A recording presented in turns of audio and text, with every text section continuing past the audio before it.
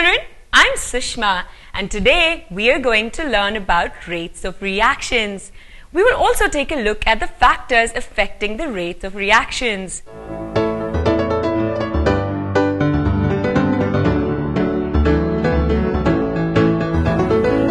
Well, we all know that in a human body, various reactions take place. When we wake up, we have breakfast. In the night, we have dinner. The food we eat is not raw, it is cooked food. For cooking food, we require a stove. The stove requires fuel.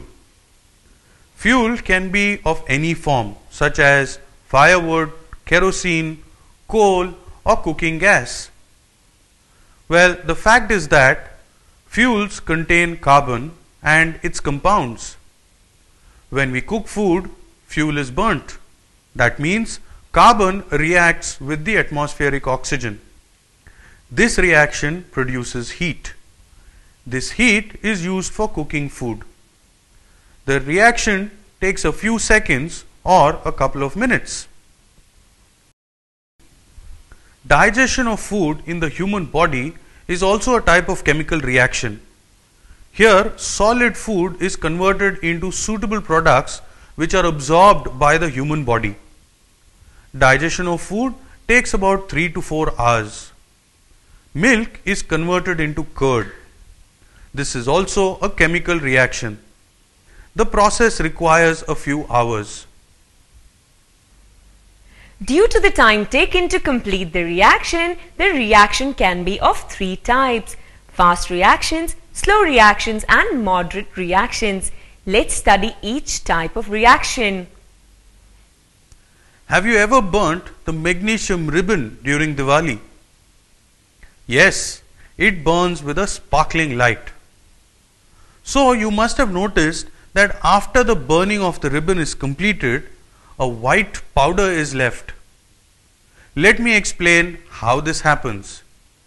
Here, magnesium burns with the help of the atmospheric oxygen and forms magnesium oxide, which is a white powder. The reaction is a fast reaction. This chemical reaction can also be called as chemical transformation.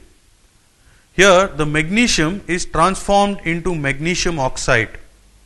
The starting material which starts the chemical reaction is called as reactants. Here magnesium and oxygen are the reactants.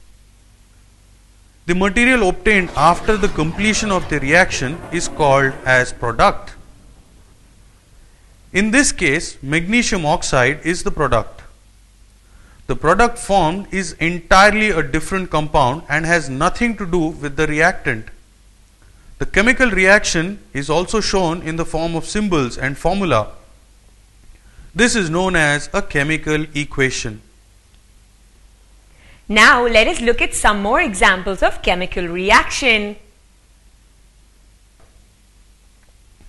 Take marble chips in a test tube.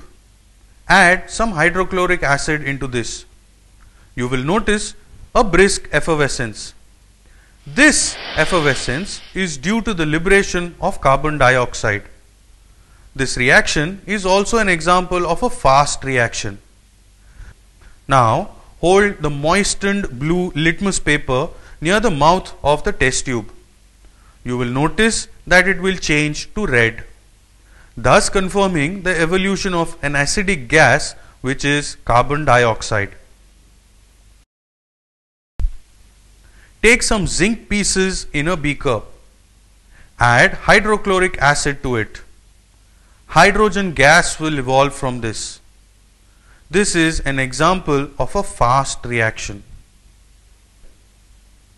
Keep the shining iron nails in the air for several days. You will find rust on the nails. How does this happen? Well, let's see. Iron when it reacts with atmospheric oxygen forms iron oxide which is also known as rust. Since the reaction requires a few days, thus it is a slow reaction. Since the digestion of food requires a few hours that neither few seconds nor few days, hence it is a moderate reaction. Let us discuss one more example of moderate reactions. For this, let's study about the hydrolysis of methyl acetate. Did you know that methyl acetate belongs to the ester family? Reaction of any reactant with water is known as hydrolysis. Here methyl acetate is reacting with water so this is known as hydrolysis of methyl acetate. The products formed are acetic acid and methyl alcohol. This requires quite a long time. Hence, this is an example of a moderate reaction. We will now perform the following activity. Take barium chloride solution in one test tube. In another, take sodium sulfate solution. Add the two solutions. You will notice the white precipitate of barium sulfate is formed instantly. Can you indicate the type of reaction? Yes, it is a fast reaction. So students, now we can define fast reactions, moderate reactions and slow reactions. A fast reaction is the one in which the reaction takes place instantaneously or within a few seconds. A moderate reaction is the one in which the reaction takes place in a few minutes to few hours.